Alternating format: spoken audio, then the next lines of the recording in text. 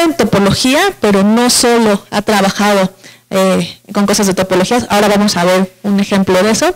Eh, hizo también postdoctorado en la Universidad de Murcia y en, la, en Juriquilla, en el Instituto de Matemáticas y la facultad, ¿no? que tienen sede en, el campus Juriquilla, también con, personas en, el área combinatoria, ¿no? Eh, y bueno, pues la tenemos aquí con la plática El fino arte de cruzar puentes y unir puntos. Bienvenida, Natalia. Pues, gracias, Mukuy. ¿Sí me escuchan todos? Sí. Muy bien. Pues em, desde el semestre pasado, cuando todavía estaba este, Héctor Méndez a cargo de aquí, bueno, me invitó, le dije, no, el siguiente semestre. Hay algo que les quiero platicar, pero todavía necesito digerirlo un poco. Y bueno, ya todavía no lo termino de digerir, pero llegó el momento y, y ya hay que platicarlo. Muy bien. Entonces, el título que, que puse, el fino arte de cruzar puentes y unir puntos. Espero que quede claro al final de la plática. Y vamos a empezar con una definición que veo de aquí, probablemente muchos ya conocen, que es que es una gráfica. ¿sí?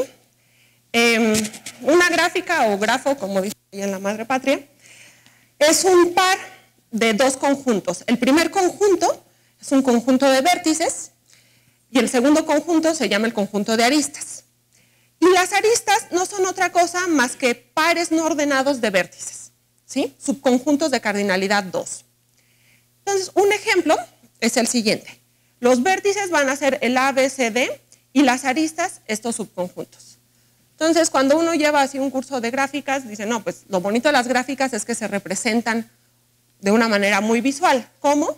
Ponemos los vértices y por cada subconjunto ponemos un segmento que los una. ¿sí?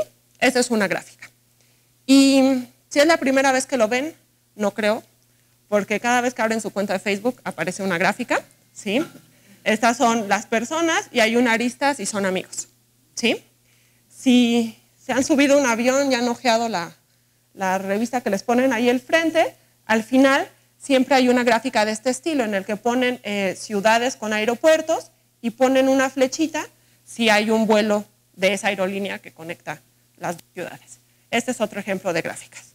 Y cuando se suben al metro y no saben a dónde van y ven el mapa, están viendo otra gráfica, en la que los vértices son los, las estaciones de metro y podemos pensar que hay una arista entre ellas dos si hay un metro que va de ahí a allá. Todas las líneas de metro son como una estructura especial de la gráfica, que es una trayectoria. Entonces, las gráficas es un concepto matemático que espero sea, la definimos así rapidísimo y seguramente a todos les quedó claro. Espero, ¿sí? Muy bien. El origen de esta, de esta rama de las matemáticas es muy chistoso y se los voy a contar, ya lo he contado por ahí en otras pláticas y no me canso de contarlo porque me encanta esta historia. Viene, pues viene muy atrás, viene desde, desde Leibniz, quien bueno, estamos aquí en 1679 y en ese entonces las matemáticas, ¿qué eran? O sea, ¿cuáles eran las matemáticas que se estudiaban? O sea, pues desde los griegos estaba la geometría, un poquito de álgebra, aritmética. Y luego llega Leibniz y Newton y pues descubren el cálculo, ¿sí? Y esas eran las matemáticas que se trabajaban. Cualquier cosa fuera de eso, pues no le podían llamar matemática porque no correspondía a lo que ellos estudiaban. Pero él siente que hay otra cosa ahí que no se está estudiando y que hace falta estudiarla. Entonces escribió, a esa otra cosa le llamó análisis situs o geometría situs o cálculo situs. Y él escribe lo siguiente, dice, no estoy contento con el álgebra en tanto que no produce ni las demostraciones más cortas ni las construcciones geométricas más bellas. Consecuentemente, a la luz de esto, considero que necesitamos todavía otro tipo de análisis geométrico lineal que se ocupe directamente con la posición, así como el álgebra se ocupa de la magnitud. ¿Entendieron? Nadie entendió. Nadie entendió. De hecho, los historiadores creen que se refería al álgebra lineal, pero la interpretación de los matemáticos no fue así. Entonces, esto quedó por ahí y años después, es 1679, a inicios de 1700, 1730 por ahí, aparece un problema muy famoso, que es el problema de los puentes de Königsberg. El origen de este problema no se sabe muy bien, pero el problema es el siguiente. Entonces, Königsberg era una ciudad en la que pasaba un río y dividía la ciudad en cuatro zonas. Aquí hay una zona, aquí hay otra zona, otra zona y esta isla en medio. Y esas cuatro zonas estaban conectadas por siete puentes. Y entonces el problema era si ustedes podían darse un paseíto por la ciudad pasando por todos los puentes una única vez y regresando al mismo punto del que salieron, ¿sí? Sin repetir puentes. Entonces, pues ¿cómo resolvemos ese problema? Ah, pues podemos poner por cada área de la ciudad, podemos poner un vértice, ¿sí? Y si hay un puente, ponemos una arista. Ojo que esta no es la definición de gráfica que yo les dije, porque en la definición no se valían estas aristas dobles, ¿no? Estas se llaman multiaristas, las vamos a ver después. Muy bien. Entonces, tenemos este objeto, que es como una gráfica, pero con aristas múltiples, y si quisiéramos resolver el problema, ¿cómo le haríamos? A ver, no importa de cuál salgamos, imagínense que salimos de alguno de estos tres, pero eventualmente tenemos que pasar. Entonces, entramos, tenemos que salir, pero nos falta cruzar este otro puente, ¿no? Por acá regresamos y ya no podemos salir porque ya usamos los tres puentes que conectaban esta región de, la ciudad, ¿sí? Entonces, pues no se puede, ¿no? Y lo hicimos así rapidísimo. No sé qué hacía la gente en aquel entonces que no lo podía resolver. Y no lo podía resolver y se sabía que el único que lo había resuelto era Euler. Entonces, bueno, este es Euler y aquí está eh, su artículo con la demostración de que no se puede. No se sabe exactamente cómo le llegó a Euler el problema, pero sí era como conocido que él tenía la solución. Entonces, Euler recibió una carta el, 9 de marzo de 1736 de otro matemático que le preguntaba la solución. Y la carta dice así, dice, nos haría a mí y a nuestro amigo Kuhn, otro matemático, un servicio harto valioso, poniéndose grandemente en su deuda, erudito señor, si usted nos enviase la solución que usted conoce bien al problema de los siete puentes de Königsberg, junto con una demostración. Y aquí abajo dice algo importante. Dice, resultaría un ejemplo excepcional del cálculo de la posición merecedor de su gran genio. He incluido un boceto de los mencionados puentes. Entonces, Euler le contesta, le manda la respuesta y le dice, de esta manera puedo observar, noble señor, cómo este tipo de solución tiene poca relación con las matemáticas. O sea, eso no son matemáticas. Y no entiendo por qué usted espera que un matemático las produzca en vez de cualquier otra persona, dado que la solución se basa únicamente en el razonamiento y su descubrimiento no depende de principio matemático alguno. Por estas razones, no sé por qué incluso problemas que mantienen tan poca relación con las matemáticas son resueltas más rápidamente por matemáticos que por otras personas. Así dice. O sea, no tiene nada que ver, pero nosotros lo resolvemos más rápido. Y dice, por otro lado, usted ha asignado este problema a la geometría de la posición, pero soy ignorante a qué involucra esta nueva disciplina. O sea, era algo por ahí, pero no sabía ni qué era. Y respecto a qué tipos de problemas Leibniz y Wolf esperaban ver expresados de este modo.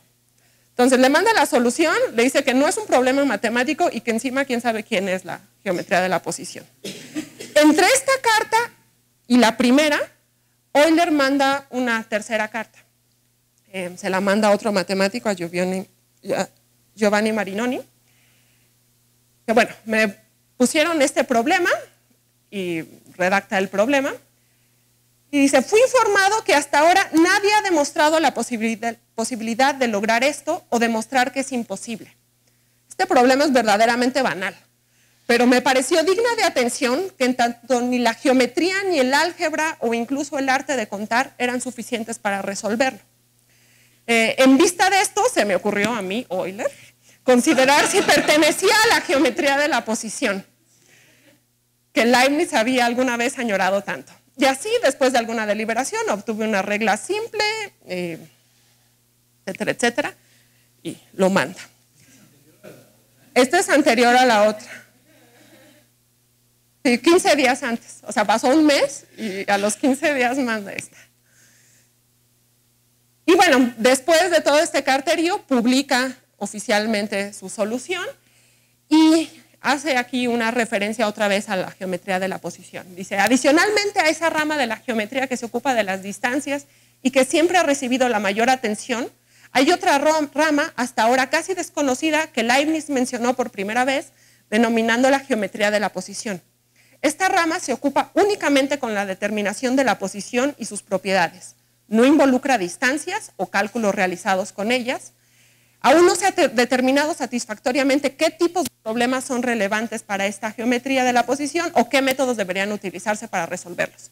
Por lo tanto, cuando recientemente fue mencionado un problema que parecía geométrico, pero que estaba construido de tal forma que no requería la medición de distancias, la realización de cálculos no era de ninguna ayuda, no tuve duda en cuanto a que se ocupaba la geometría de la posición, especialmente debido a que su, solución involucraba únicamente a la posición y ningún cálculo le era de utilidad. Y entonces, este es así como el primer ejemplo de geometría de la posición, y a partir de ahí pues nace la teoría de gráficas, o sea, no hay duda porque la solución la hicimos con esta especie de gráfica, pero también nace otra área, que es la topología. En realidad, esto del análisis hitus, geometría hitus, se siguió así como llamando por ahí de 1870, otro matemático alemán, no hay que llamarle geometría hitus ni análisis hitus, hay que llamarle topología, él propone el término topología, Años después, Poincaré publica su artículo Análisis Citus, que son las bases de la topología eh, algebraica, y no es hasta el año 1914 que Hausdorff publica un libro famosísimo, Principios de la Teoría de Conjuntos, en los que se establece por primera vez lo que es un espacio topológico. Y con esto, digamos, eh, con esto, ay, digamos, define de manera formal todos estos problemas que estaban ahí en torno a qué es la posición, cómo están los puntos, etc. Entonces vamos a los que no han llevado topología, quizás les suene algo brutal esto, pero así empieza una clase de topología, ¿no? ¿Qué es un espacio topológico? Un espacio topológico no es otra cosa más que un conjunto y una familia de subconjuntos de X. ¿Sí? El conjunto es X, la familia de subconjuntos de X. Pero la familia debe cumplir tres propiedades. La primera es que el vacío y el total de esa familia. La segunda es que si tienen dos elementos de la familia, la intersección es un elemento de la familia. Y la tercera propiedad es que si ustedes tienen un subconjunto de la familia y unen todos los elementos de ese subconjunto, les da otro elemento de la familia. Si ya llevaron cálculo 3 o análisis, saben que los conjuntos abiertos cumplen estas tres propiedades. ¿Sí? Entonces, pues los elementos de T les llamamos conjuntos abiertos, ¿sí? Y la familia T se llama topología, el par se llama espacio topológico. Entonces, Hausdorff fue, o sea, fue, muy inteligente porque dijo, a ver, nosotros estudiamos en, en los espacios métricos o así en variedades en RN, propiedades como continuidad, conexidad, compacidad, y lo único que necesitamos para determinar esas propiedades son los conjuntos abiertos. ¿Sí? Entonces, empecemos primero por decir quiénes son los abiertos y ya después nos preguntamos todas esas propiedades. ¿Sí? Entonces, ejemplos de espacios topológicos. Uno muy famoso es la topología discreta, que no es otra cosa más que la familia de todos los subconjuntos. ¿Sí? Un espacio topológico. Otro es la topología antidiscreta. La antidiscreta, ¿cómo es? Pues es el total y el vacío. ¿Sí? Esa familia cumple las tres propiedades. Pero en realidad podemos ser un poquito más, eh, pues, listos y dar ejemplos un poco más interesantes. Entonces, piensen en estas. El espacio son los puntos A, B, C. ¿Sí? es un conjunto de tres puntos. Entonces, tenemos la discreta, la antidiscreta, y aquí les propongo otras dos topologías. Una es la que tiene como abiertos el vacío, el conjunto A, el conjunto AB y el conjunto ABC. Pueden checar en su casa que eso es una topología. Aquí hay otra muy parecida, pero cambió algo. Esta tiene al vacío, al A, al B, al AB y el ABC. ¿sí? Esos son conjuntos abiertos. ¿Y qué gracia tiene esto? Pues miren, cualquier abierto que contenga el conjunto B siempre va a tener A de alguna manera A está pegadito a B, ¿sí? Donde vaya B, el A como que siempre se le pega. Pero A sí está separado de B. porque si hay un abierto que contiene A y no contiene a B. Esa situación ya no pasa aquí. Aquí A y B están separados, pero a donde vaya C se le pegan A y B. ¿Sí? Entonces, a final de cuentas, las topologías también nos están enseñando otra forma de pegar puntos. ¿Sí? Un poco más abstracta que la forma en la que le hacían las gráficas, que en un minuto se las definí, todos la entendieron. Esta quizás cuesta un poquito más de trabajo, pero a final de cuentas se está pegando puntos. ¿Sí? Em, otro ejemplo son los espacios métricos que ya mencioné, pero quiero recalcar la manera en la que se definen las topologías en los espacios métricos. Esas topologías se definen una vez que consideramos las bolas. ¿sí? Entonces, ¿qué es una bola? Una bola en un espacio métrico, la denoto así, la bola con centro en X y radio R, son todos los puntos cuya distancia de X a Y es menor que R. Y las bolas, la familia de todas las bolas de un espacio métrico cumplen dos propiedades. Una es que cubren al espacio. La unión de todas las bolas les da el espacio total. Y la segunda propiedad es que si me dan dos bolas y un punto en la intersección, hay una tercera bola que se queda ahí metida. ¿Sí? Entonces, estas dos propiedades ayudan mucho a definir topologías. ¿De qué manera? Piensen ahora en un conjunto y en una familia de subconjuntos que cumple esas dos propiedades.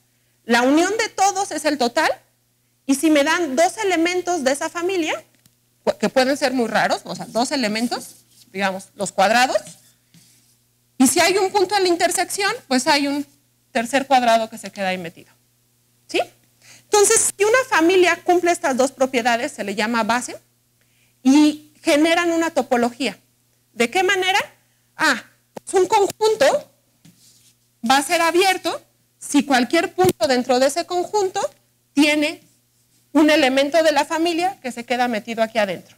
Así ustedes definieron los abiertos en RN, en cálculo 3 o en análisis. así se define. Y lo podemos hacer en general. Entonces las bases nos ayudan a definir las topologías con menos conjuntos. Entonces vamos a ver un ejemplo. Bueno, ya están los espacios métricos. Y este ejemplo es muy, muy interesante. Este se llama la recta digital o la recta de Kalimsky. Nuestro conjunto base son todos los números enteros. ¿sí? Entonces, en los enteros hay una topología que todos conocen, que es la que induce la métrica, ¿no? O sea, la distancia entre el 6 y el menos 6 y el menos 4 es 2. ¿sí? Si tienen métricas, tienen bolas, y si tienen bolas, pues ya tienen una topología. Pero esa métrica es desconexa. ¿sí? Esa topología es desconexa. Los puntitos están ahí desperdigados. Entonces, lo que hace esta topología es hacer un espacio conexo. ¿Cómo? Pues las vecindades básicas de los números impares son ellos solitos. ¿sí? Estos son abiertos. Y las vecindades básicas de los números pares son el par y los dos impares, el que está antes y el que está después. ¿sí? La topología que genera esta, esta base es una topología conexa. Y la recta digital, pues se ve más como una recta que los puros números enteros ahí aislados. Em, ya que tienen en la recta digital, pues pueden hacer el plano digital, ¿cómo? Se toman los enteros, cruz los enteros, y los básicos va a ser un básico, cruz un básico. Entonces aquí los básicos ya aparecen de muchas maneras. Em, si tiene dos coordenadas impares, es el singulete. Si es un par, cruz un par, es un segmento eh, vertical. Luego tenemos segmentos horizontales y tenemos estos cuadraditos cuando el centro es par par. ¿sí? Eh, esto vuelve a ser conexo y tiene, tiene sus aplicaciones. En realidad, si se llama digital, porque viene de las imágenes digitales. ¿De qué manera? Consideren el siguiente problema. Supónganse que ese es un pedacito de su pantalla y ustedes agarraron el lápiz y dibujaron una curva ahí. ¿sí? Y luego hay una, normalmente en los programas hay una varita mágica que seleccionan una región y les dices, esa la de azul. ¿sí? Entonces, si ustedes seleccionan, por ejemplo, este píxel, la varita mágica tiene que saber cuál es la región conexa que contiene este píxel. ¿Sí? O sea, esta línea negra que yo dibujé aquí, en principio es como una curva cerrada.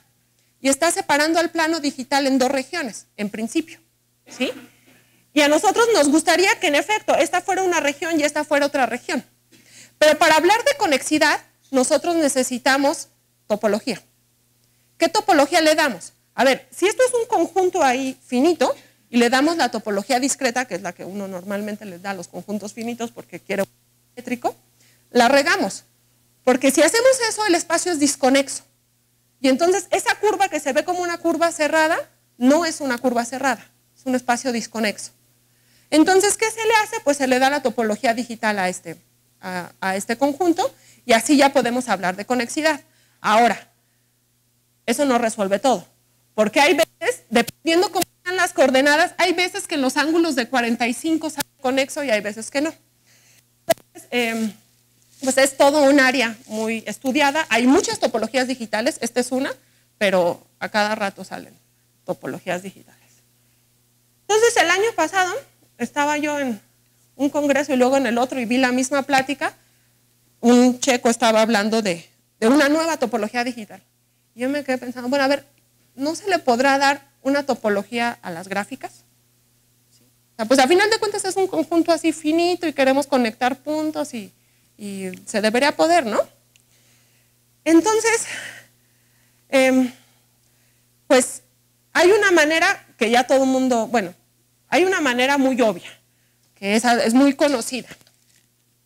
Em, pues, ¿cómo? A ver, si yo tengo este cuadrado, ¿cuál es el espacio topológico? A ver, yo lo dibujo en el plano, el plano ya tiene su topología y le doy la topología heredada.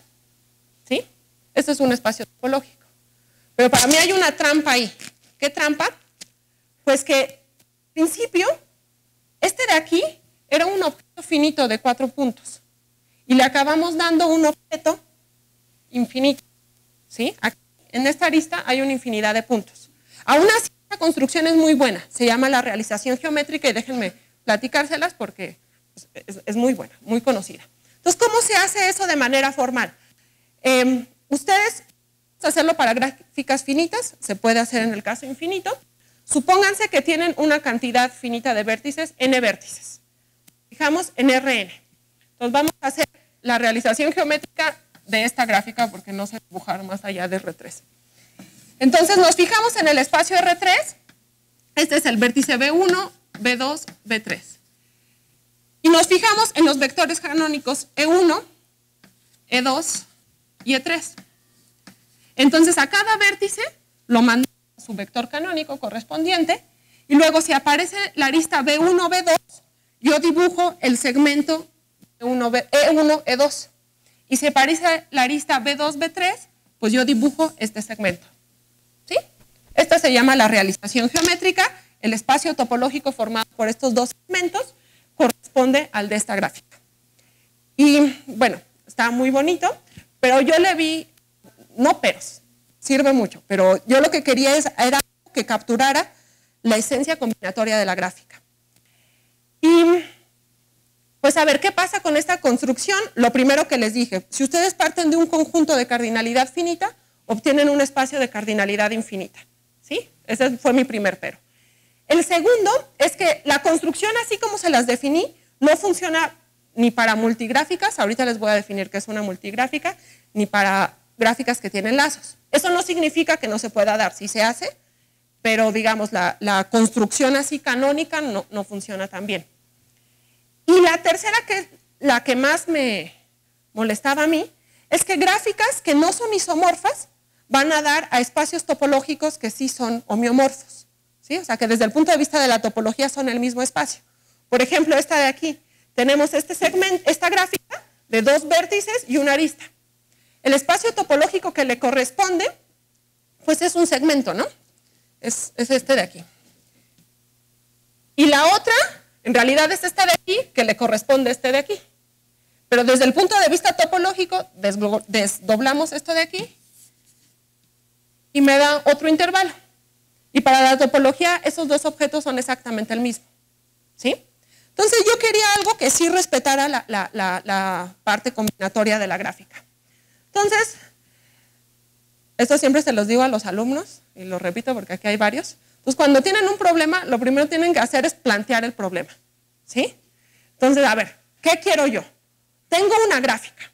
Entonces, mi pregunta es, ¿existe alguna topología en la familia de, en la familia de los vértices de manera que G sea conexa si solo si el espacio topológico sea conexo? Si tengo dos gráficas isomorfas, los espacios son homeomorfos. Y que si tengo una subgráfica, la topología que le corresponde a H es la misma que hereda de G. Entonces dije, a ver, a ver, vamos a intentarlo. Entonces empecé con una gráfica muy sencilla que es este triángulo. Entonces, de entrada, como es algo conexo, yo no le puedo dar la topología discreta. ¿Sí? Y a ver si los convenzo. Pues a ver, este vértice está conectado con este de aquí. Entonces, cualquier abierto que contenga este punto, como que se tiene que comer este de aquí. Y también este de acá. Entonces, pues como que el abierto básico para este punto debería ser el total, pero como la gráfica es simétrica, pues todos, para todos es lo mismo, ¿no? Entonces dije, ah, pues es la topología antidiscreta. Luego me voy a esta de aquí. Entonces tengo ahora cuatro vértices.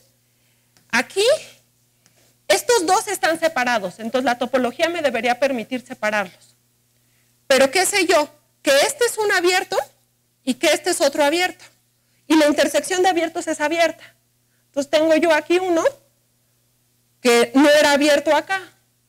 Y yo quería que se preservara en las subgráficas, entonces chin no se puede, ¿no? Y después dije, no, pues es que claro, el espacio no tienen que ser los vértices, tienen que ser los vértices y las aristas. Entonces, con esto dije, bueno, ya si lo voy a hacer para gráficas, hay que hacerlo para multigráficas, que tengan lazos, aristas múltiples. Entonces, antes de pasarles a dar mi definición, déjenme contarles qué es una multigráfica, porque nos va a ayudar mucho en la notación.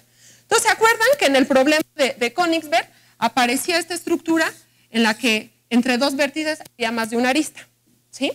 Y luego también podemos pensar en otras estructuras en las que aparece como un puente de un lugar a, sí mismo. ¿Sí? Estos se llaman lazos. Entonces, ¿cómo definimos eso?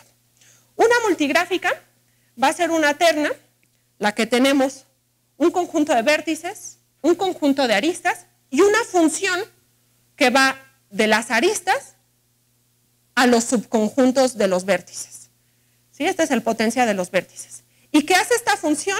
Pues a cada arista le asigna un subconjunto de cardinalidad 1 o 2. Bueno, aquí eh, menos el vacío, ¿no? ¿no? se vale el vacío le asigna un concurso de cardinalidad 1 o 2. ¿Y qué es ese conjunto? Pues son, es un subconjunto de vértices. Se van a llamar los extremos de la arista. Cuando a una arista la función le asigna un conjunto de cardinalidad 1, es un lazo, y si la función es inyectiva y no tiene lazos, en realidad es una gráfica en el sentido normal. Entonces vamos a descifrar toda esta definición. Entonces pensemos que mi conjunto de vértices son el 1, 2, 3 y mis aristas el A, B, C, D. Y esta es mi función. Entonces, ¿cómo la dibujamos? Ponemos los vértices. Si la función manda al A al 1, 2, ponemos una arista, el B al 1, 2, el C al 2, 3 y el D al 3. ¿Sí? Harán una multigráfica. Ok, entonces ya tenemos claro que es una multigráfica, espero que tengan claro que es un espacio topológico, y ahora lo que vamos a hacer es darle una topología que sí preserve la estructura combinatoria. Entonces, ¿cómo lo hacen? Bueno, yo tenía en la cabeza las topologías digitales, ¿no? Entonces dije, pues vamos a darle, hacer lo mismo, ¿no? Entonces le llamé la topología digital en una gráfica.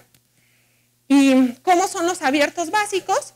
Pues los abiertos van a ser los vértices, como si fueran los números impares. Y los otros abiertos básicos son una arista y sus dos extremos. ¿Sí? Entonces a esta le llamo topología digital. Y es una topología que yo defino en el conjunto de los vértices unión la arista. Entonces, por ejemplo, tenemos esta gráfica de aquí. Em, la voy a hacer acá. Entonces tenemos los vértices y las aristas las voy a dibujar aquí chiquitas para que no conectan. Aquí hay dos y aquí hay una. Muy bien, entonces los abiertos básicos de los vértices son ellos mismos Y los abiertos básicos de las aristas son precisamente la arista y sus dos extremos. Entonces aquí hay otro básico, aquí hay otro básico y este de aquí es un lazo. Entonces esta es la topología digital y cumple las tres propiedades.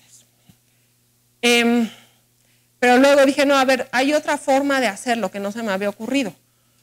Nosotros, esa es la base, eh, perdón, esta es la base y con esto generamos la topología. Sí, sí, gracias, perdón.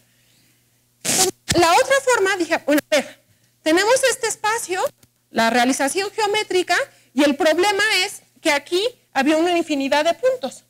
Pues yo voy a identificar todos los puntos en uno solo. O sea, todos los puntos del segmento abierto que une a este vector con este de aquí, los identifico en un solo punto. Y luego le doy, para los que saben topología, la topología cociente. ¿Sí? Y esa me genera otra, que yo le llamé la topología de los pulpos, ahorita van a ver por qué, en la que la base con las aristas y los vértices, unión todas las aristas que inciden en él. Entonces, por ejemplo, si tenemos en la gráfica, no sé, algo así, ¿cómo es un básico de este punto? Pues es el vértice, unión todas las aristas, pero sin los extremos. Por eso los pulpos. ¿Sí? Es, y es la topología que resulta de hacer el cociente. Entonces, por ejemplo, en, el mismo, la misma gráfica que teníamos aquí, nosotros tenemos eh, las aristas, los vértices, pero ahora se ve distinto. Ahora las aristas son eh, abiertas. Al vértice hay que pegarle las aristas que inciden en él. Aquí tenemos, perdón, este no le agregué estas. Aquí está el pulpo. Y acá tenemos, así queda más o menos, ¿no? Entonces hay un pulpo, uno de tres. Muy bien, entonces estas fueron las dos primeras que se me ocurrieron. Dije, no, esto está muy bonito, seguro ya lo hizo alguien. Me puse a ver y en efecto. Eh, un Vela en 2005, él trabaja con gráficas. Él no quiso entrarle a las multigráficas, ahorita les voy a decir por qué. Y B, no le llama topología digital, de hecho creo que no sabía topologías digitales, porque en ningún momento hace mención a, eso, ni a, al final les digo, no hace mención a qué. Entonces él prueba que en efecto esta topología cumple las tres propiedades que yo quería que se cumplieran. Y bueno, lo que me fijé es que en realidad esto seguía siendo válido para multigráficas. Y lo mismo es cierto si cambiamos la topología digital por la topología de los pulpos. Y otra vez el resultado es cierto si consideramos multigráficas. Y luego prueba, de hecho, él la que más le gusta es la de los pulpos y es la que trabaja. Dice, las dos son casi la misma, pero voy a trabajar con esta. No son casi la misma, vamos a ver más adelante por qué. Luego prueba, y por eso es que trabaja con gráficas, que son las únicas dos topologías que ustedes pueden definir ahí que cumplen esas propiedades. Y eso es cierto si nos restringimos a las gráficas. En el momento en el que metemos multiaristas, se sigue valiendo, pero los lazos nos dan en la torre. Los lazos nos permiten generar como muchas topologías más. Un alumno con el que estoy haciendo estas cosas, un alumno de licenciatura, ya tiene clasificada todas las topologías que se pueden hacer. Este, pero bueno, por eso es que, es que trabaja con, con gráficas nada más.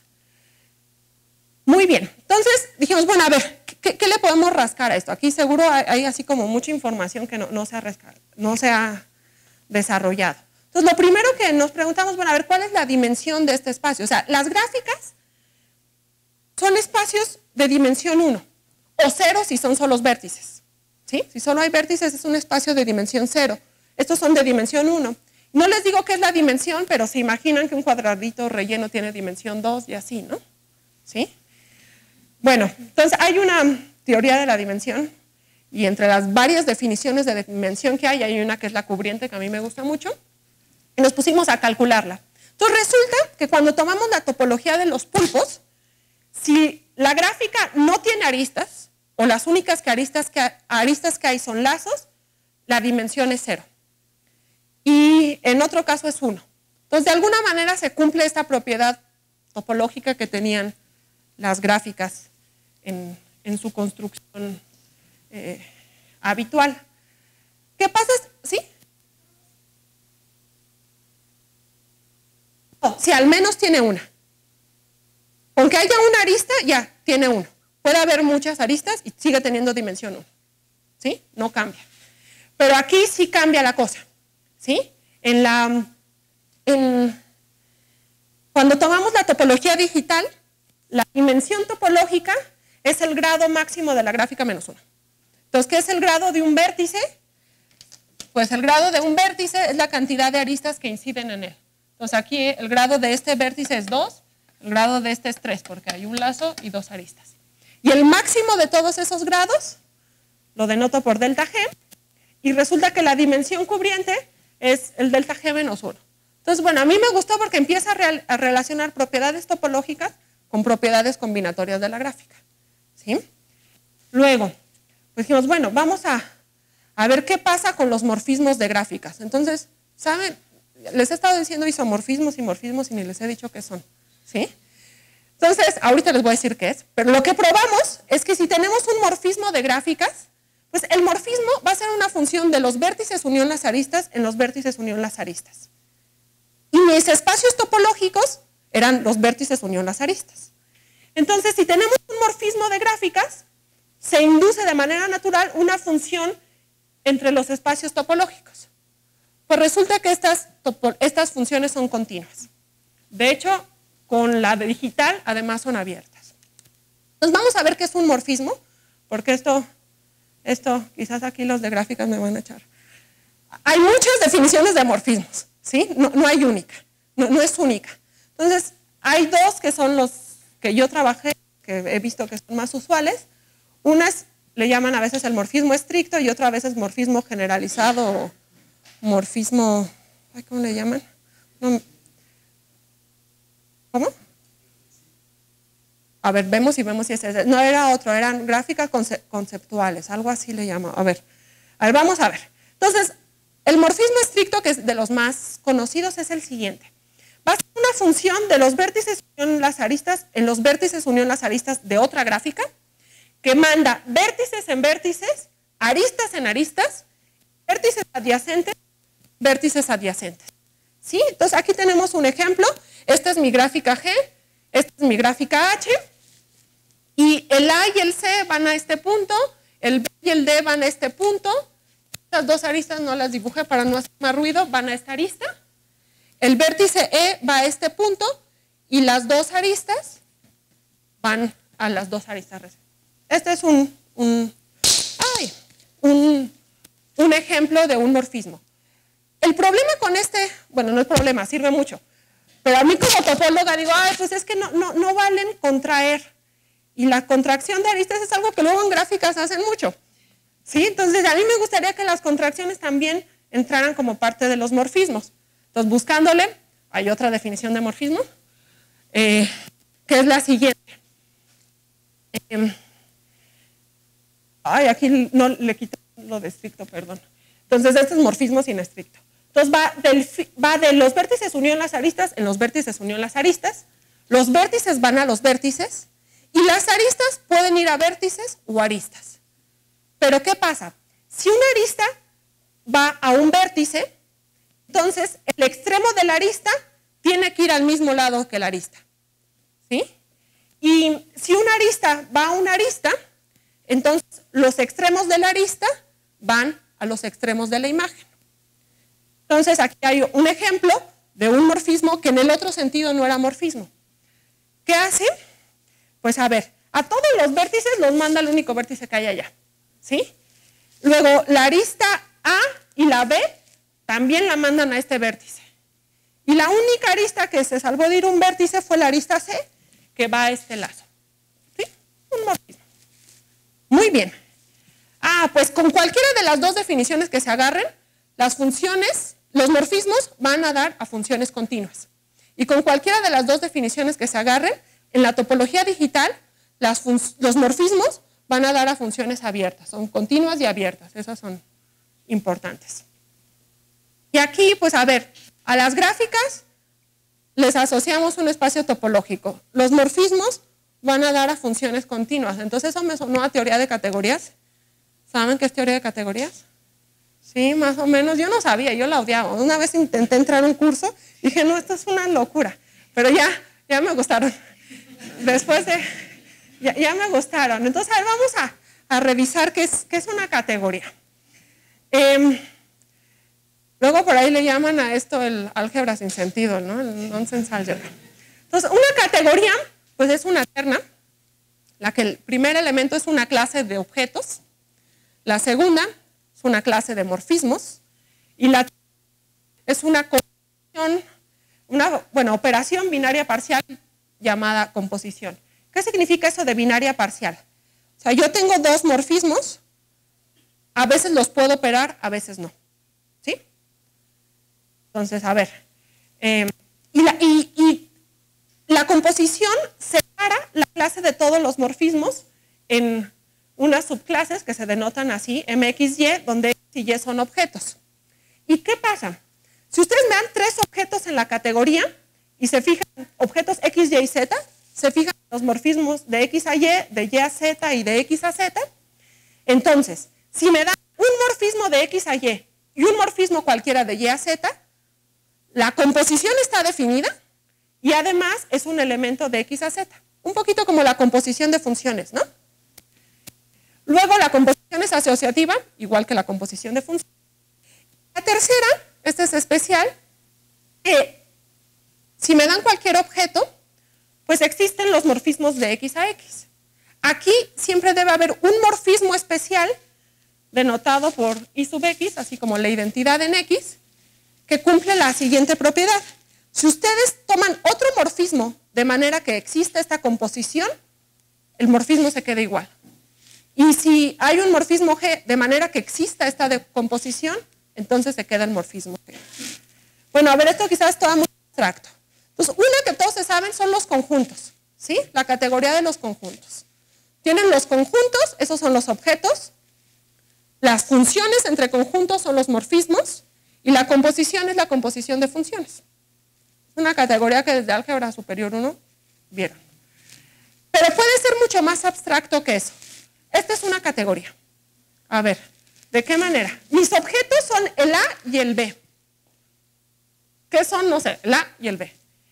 Mis morfismos yo los, respeto, yo los represento con estas flechitas. Aquí hay un morfismo F, un morfismo G de BA, un H, un IA y un IB.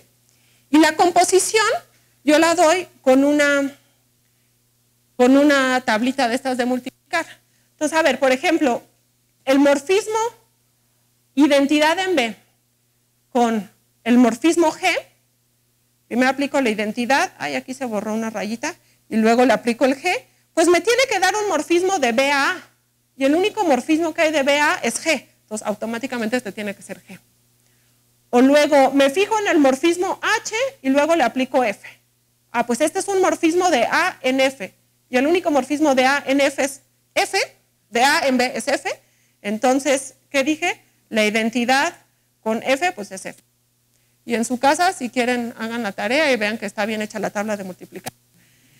Y luego pueden hacer otras categorías así abstractas, como ustedes quieran. Pero a mí las que me interesan son las que hemos estado trabajando. Entonces, por un lado está la categoría top, la de todos los espacios topológicos. Entonces, ¿cuáles son los objetos? Pues los espacios topológicos. Y los morfismos son las funciones continuas.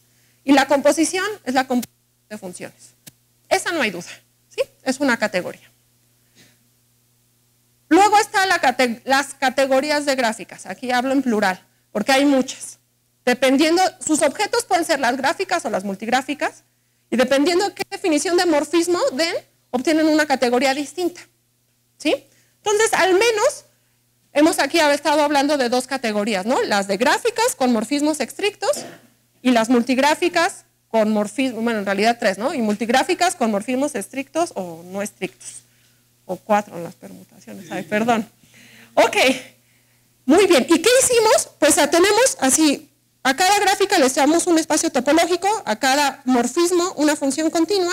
Ah, pues esto es como una función del mundo de las gráficas, ahora ya sabemos se llama categoría, en la categoría de los espacios topológicos. Esas funciones, cuando cumplen ciertas reglas, se llaman funtores. Son algo muy especial. Entonces, ¿qué es un funtor? Tienen dos categorías, la C y la C'. Entonces, un funtor, aquí puse mapeo, es una palabra que odio, pero no le quería usar función porque no es una función, porque no son conjuntos. Entonces, es una regla que a cada objeto de la categoría C le asigna un objeto en la categoría C'. A cada morfismo en C le asigna un morfismo en C'. ¿Y qué cumple?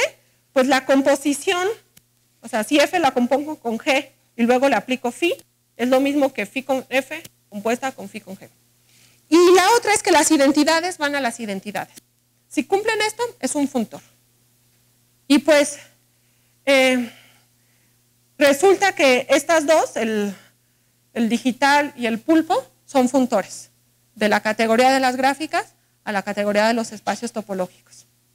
Eh, con cualquiera de la definición que den ustedes de gráficas, de categoría de gráficas, ¿no? O sea, con los dos, con los dos funcionan.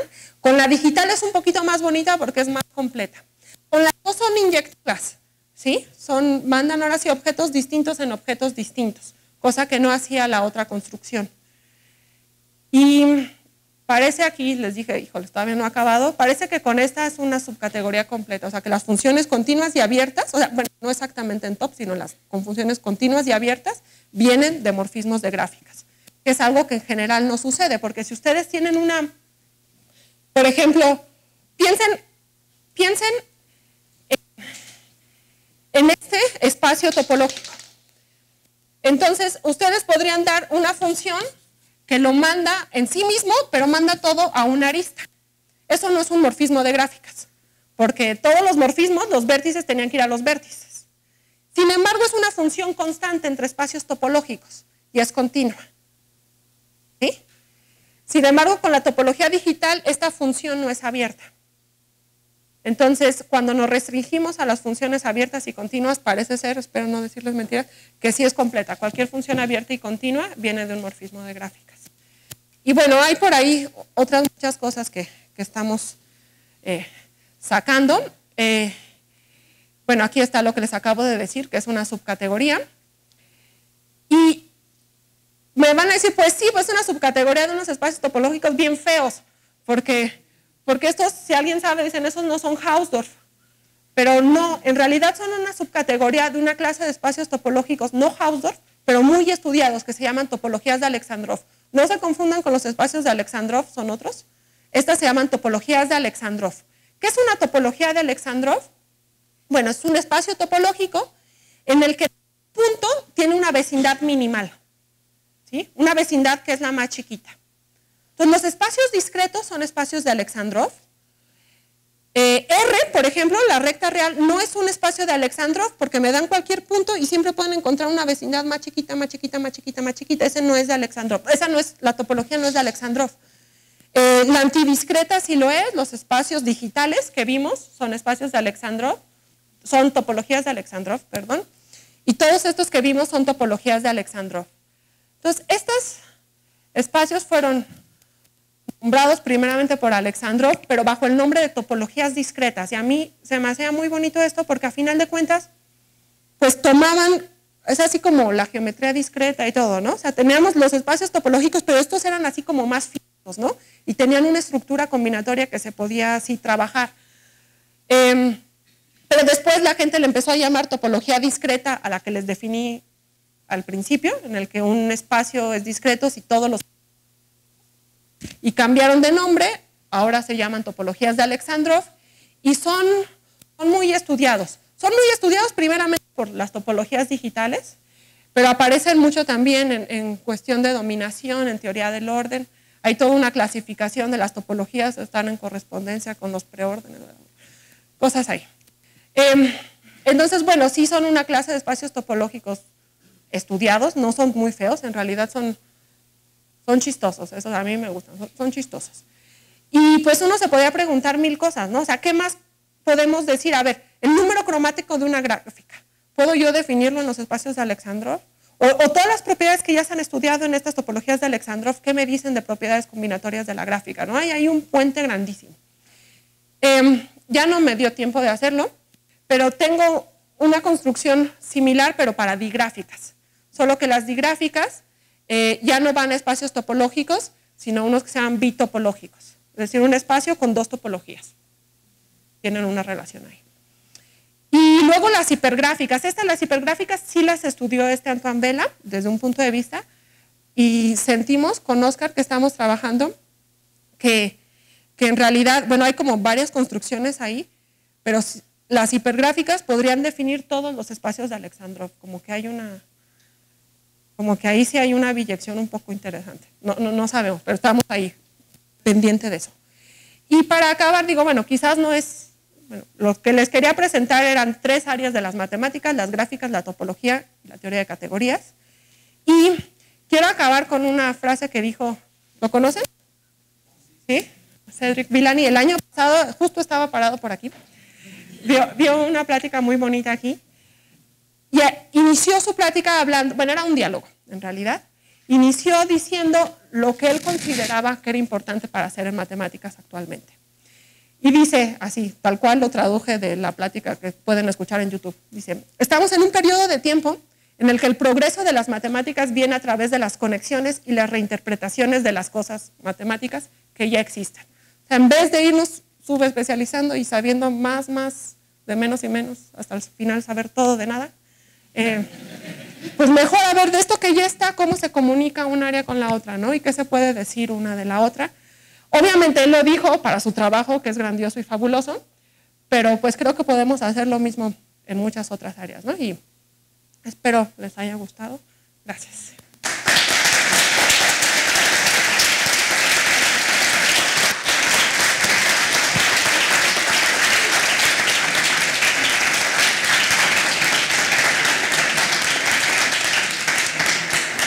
¿Hay preguntas, comentarios?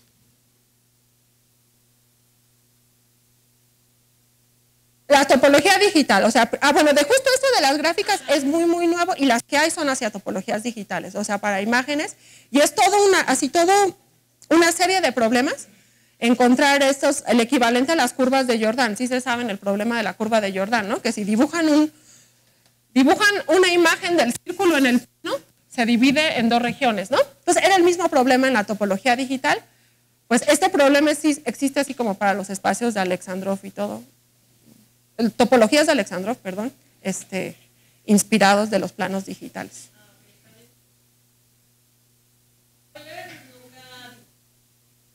no. Ah, no sé. Eso me quedé con la duda. También eso lo, para la próxima. Sí, sí, no, él no dibujó una gráfica. Él hizo el dibujito ese que tenía ahí, pero el razonamiento, pues es, a final de cuentas, es conmigo. O sea, nació con el problema de los puentes. Como la... ¿Cómo, cómo fue? Ah, ok, el de los cómics, entonces sale esto de la gráfica, la, perdón, la geometría de la posición que no sabemos qué es, ¿no? Y entonces se siguen buscando problemas al respecto. Entonces empiezan a aparecer algunas cosas. Lo que más aparece son teoría de nudos. Y hay todo un tratado sobre teoría de nudos que es el que les dije del, alemán este, el Johann Benedict Listing, que dice, no hay que llamarle análisis hay que llamarle topología. ¿sí? Y entonces digamos que los objetos topológicos que se trabajaban ahí en el, en el siglo XIX, pues eran nudos, variedades. Los espacios métricos formalmente aparecen hasta 1905, más o menos 1906 aparecen, ¿sí? Y ya fue hasta el Hausdorff que dijo, aquí están, pero fue así como poquito a poquito, ¿no? De irle, irle sumando a las cosas. Inicio.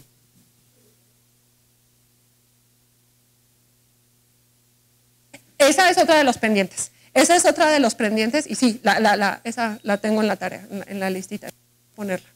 Sí, sí, sí. Creo que hay algo ahí interesante. ¿Algún otro comentario?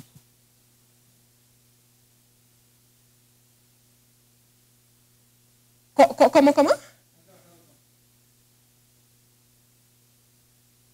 Ah, este, no, no, no, no, no.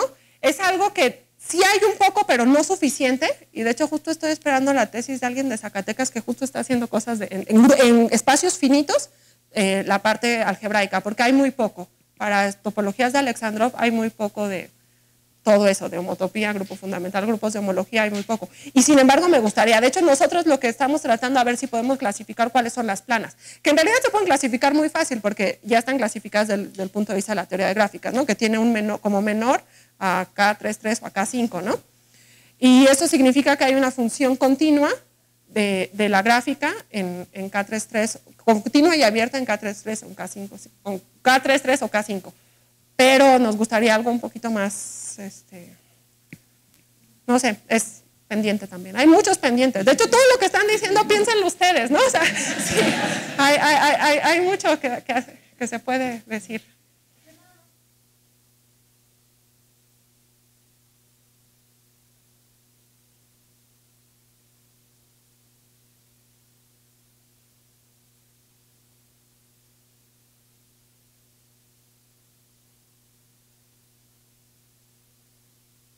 Ah, ok, ok. Sí, bueno, teorías de la dimensión hay muchas. Esa es como el tamaño, ¿no? O sea, esa es más bien el tamaño. Pero esta dimensión se llama dimensión topológica o dimensión cubriente. Y lo que quiere decir, o sea, si quieren les doy la definición formal. O sea, si ustedes cubren el espacio, el chiste es encontrar un refinamiento de la cubierta. Por ejemplo, en R lo cubrimos con abiertos y la idea es encontrar un refinamiento que se corten a lo más, la intersección de cualesquiera dos, a lo más, perdón, la intersección, el máximo número de abiertos que se pueden intersectar son dos. ¿sí? Entonces la dimensión es 2 menos 1.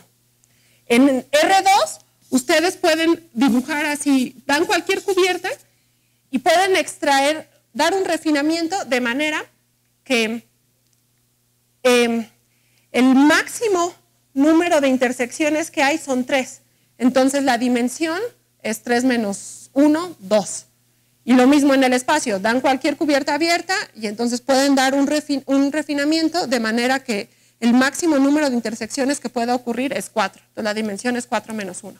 Entonces esa es la definición de dimensión cubriente y es la que aplicamos aquí. Sí, sí es distinto, es distinto.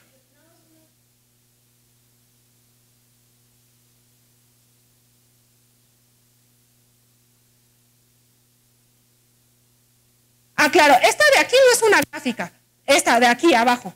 Este es el abierto básico de, este, de este puntito. ¿Sí? No, esta no es una gráfica porque le faltan los extremos, ¿no? Sí. Pero es, dentro de esta gráfica, este conjunto es el abierto básico.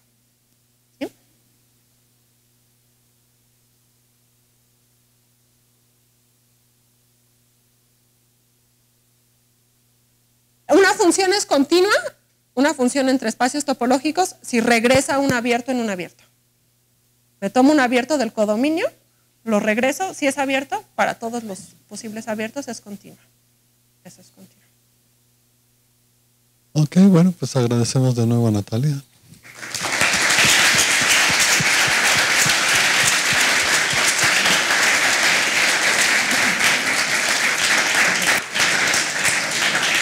Eh, nos vemos regresando Semana Santa. Max Neumann va a hablarnos sobre superficies hiperbólicas.